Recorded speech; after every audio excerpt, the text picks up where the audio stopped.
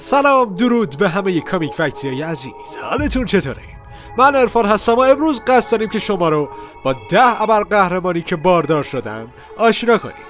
البته این ویدیو پارت سوم این مجموعه است و ما قبلا دو پارت دیگه هم براتون آماده کردیم که اگر اونا رو هم ندیدید می‌تونید اول اونا رو تماشا کنید و بعد به تماشای این ویدیو بپردازید. اما خب قبل از اینکه بخوایم بریم سراغ ویدیوی امروز می‌خواستم بهتون کانال جدیدمون به اسم مگامایند رو معرفی کنم. دلتون می‌خواد داستان به وجود اومدن اولین خدایان رو بدونید؟ یا داستان سقوط تایتان ها رو چی؟ یا داستان خدایی که فرزنداش رو خورد؟ ما اینجاییم که شما رو با یکی از اولین داستان های تراژیک یونان باستان آشنا کنیم. سلام به مگامایند خوش اومدید. ما داخل این کانال هر روز هفته به غیر از جمعه ها براتون ویدیو می‌سازیم و شما رو با حقایق عجیب و غریب دنیا و چیزهایی که نمی‌دونستید یا براتون در حال ای از ابهام بوده آشنا می‌کنیم. پس حتما بعد از تماشای این ویدیو به اونجا هم سر بزنید و اگر با ویدیوهای اونجا هم حال کردید مگامایند رو subscribe کنید و ازمون حمایت کنید. و اینکه فکر نکنم حرف دیگه باقی مونده باشه. اگر آماده اید برو بریم سراغ پارت سوم 10 تا از ابرقهرمان هایی که باردار شدن. Let's go! شماره ده استارفایر پادشاهی کام یک مینی سریال که با آینده قهرمان ها سر کار داره. دوره ای که بعضی از قهرمان ها از کنترل خارج شدن و مجبورن که توسط سوپرمن مهار بشن. توی این جهان استارفایر و نایت با هم دیگه توی رابطن و صاحب فرزندی به اسم نایت استار میشن. متاسفم که این رو میگم اما اون یکی از قهرمان هایی هست که از کنترل خارج شده. از اونجایی که گفتیم داخل این داستان ابر قهرمان ها در مقابل همدیگه قرار می‌گیرن یه خورده این ماجرا تبدیل به فاجعه میشه. توی این اوضاع بعدم نایت استار دید که دارن خیلی از هدفشون دور میشن و یک عالمه آسیب اطرافشون وجود داره و کم کم دید که داره تحت تاثیر ذهنیت قهرمان های قدیمی قرار می‌گیره. اما به جای اینکه به سوپرمن ملحق بشه به پدر بزرگ ناتنیش بتمن ملحق شد و به عضویت تیم آوتسایدرز در اومد. که قهرمان های نسل جدید رو تشکیل داده شماره 9 گلدن ایج بلیک کنری بین عصرهای طلایی و نقره اتفاقات جالب زیادی افتاده.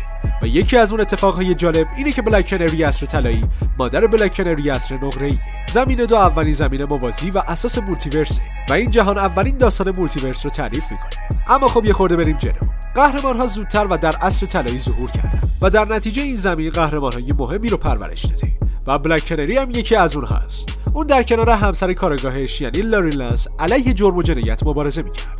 اونها صاحب دختری به اسم داینا لورل لنس شدن که به ای ملحق شد و سرانجام رفت به زمینی یک که اصلی ترین زمینی هست که درگیر عصر نقره ای شده. این دو جهان انقدر با همدیگه کراس اوور دارن که بعضی از شخصیتشون با همدیگه دوست شدن.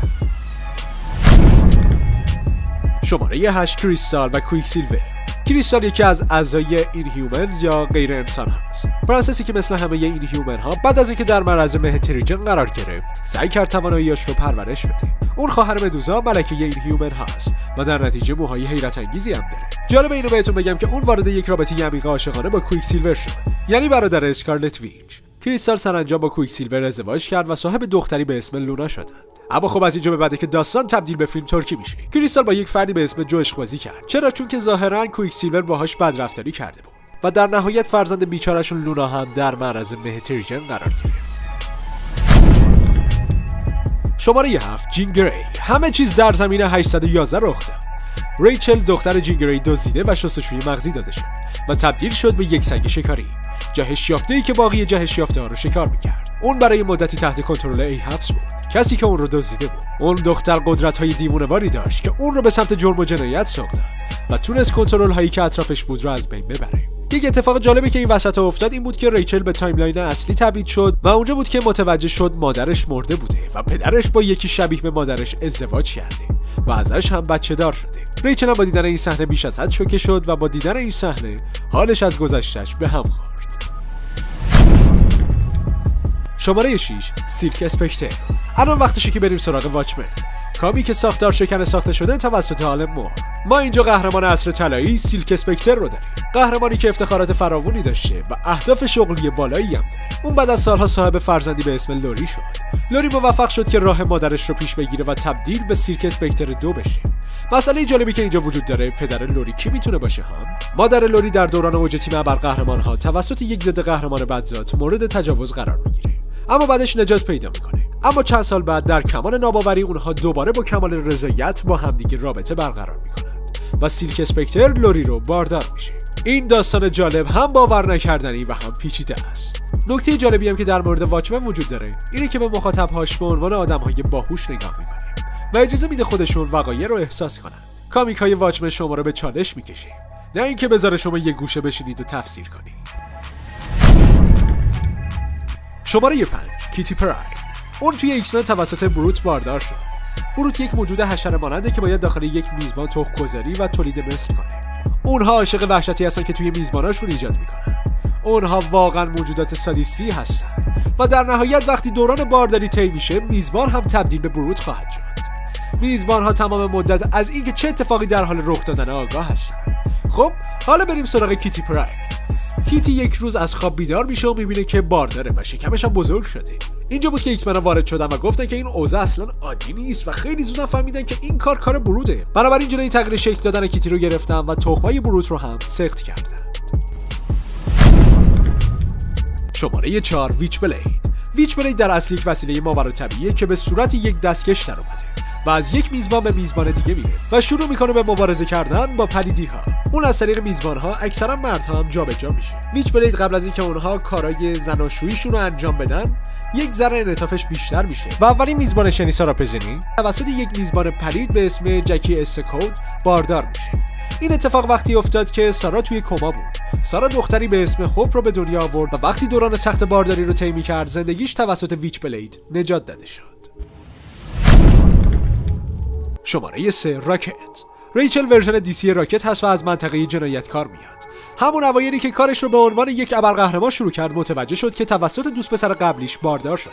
اون تصمیم گرفت که بچه رو نگه داره و یک پسر به دنیا آورد. اون یک مادر نوجوان بود و بعد از مدتی بین هاش و مادر بودنش تعادل برقرار کرد. به نظر می‌رسه که ریچل شخصیت بد اخلاقی داشته باشه.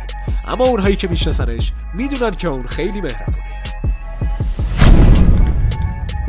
شماره دو اتمیو. احتمال زیاد اتمیو رو از سریال شکست ناپذیر بشناسید.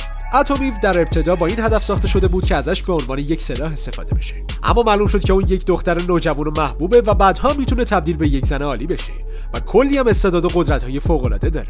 اون نهایتا با شکست ناپذیر وارد رابطه شد و بعد از مدتی هم متوجه شد که بارداره و بعد از گذشت نه ماه هم بچهش به دنیا اومد. البته قبل از اینکه بچهش به دنیا بیاد اون خیلی استرس داشت و از این اتفاق خیلی ترسیده بود. اما در نهایت اون با شکست ناپذیر و بچهش یک خانواده یارون رو تشکیل دادند و اما شماره یک سایرن و جیمی مدراکس. جیمی مدراکس یک مرد چنگانه است یک جهش یافته ای که می‌تونه خودش رو تکثیر بده. و وقتی از خواب بیدار شد دید که اونو همتاش هر کدوم به صورت مجزا با سایرن و مونت رابطه داشتن. و هیچ کدوم از اون خانم هم نمی‌دونستن که اون دوتا شده و فکر می‌کردن که با جیمی کامل قرار داشتن. جیمی هم از وقایع شب قبل زیاد چیزی یادش نمیومد چون الکل زیاد مصرف کرده بود و خیلی بود. اما اینجا یک اتفاقایی افتاد. سایرن باردار شده بود و تصمیم گرفته بود که بچهش رو هم نگه داره. اون و جیمی تصمیم گرفتن که اوضاع رو به خدا بسپارن و برای مدتی به نظر می رسید که همه چیز داره خوب پیش میره. اما بعدش اوضاع یهویی خراب شد. اونا مجبور بودن که بچه رو سزارین کنن و وقتی هم بچه به دنیا اومد نفس نمی‌کشید و داشت خفه می‌شد. اما بعد از کشمکش های فراوون اوضاع رو به راه شد و سایرن بچهش رو نگه داشت و اونو به دنیا آورد و داد به جیمی. اما اینجاست که اوضاع خیلی وحشتناک میشه. من یکی که نتونستم یه تیکه رو حذف کنم. چرا؟ چون که بچه شروع می‌کنه به جذب شدن به بدن جیمی. جیمی با مونس خوابیده بود و کپیش هم با سایره. از اونجایی هم که بچه کپی بود و واقعی نبود در واقع جزی از بدن جیمی بوده. وقتی هم جیمی بغلش کرد شروع کرد به جذب شدن و بچه کم کم از صفحه روزگار پاک شد. آره همونطوری که الان شما چندشتون شده و رفته رو مختون رو مخ منم رفته. خب بچه های این بود از ده خبر قهرمان دیگه که باردار شدن. امیدوارم که از تماشای این ویدیو لذت کافی رو برده باشید. اگر از این ویدیو خوشتون اومد با like و subscribe تون و معرفی ما به دوستاتون ازمون حمایت کنید. و راستی یادتون نره که به مگامایدم سر بزنید. خب تا یک ویدیو comic fact دیگه خدا نگهدار.